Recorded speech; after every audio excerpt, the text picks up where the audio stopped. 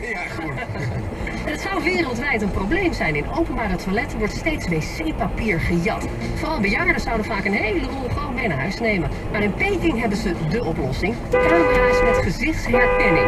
Als je daar naar de wc wil, moet je eerst je gezicht laten registreren door een camera. Waarna je dan 60 centimeter wc-papier mee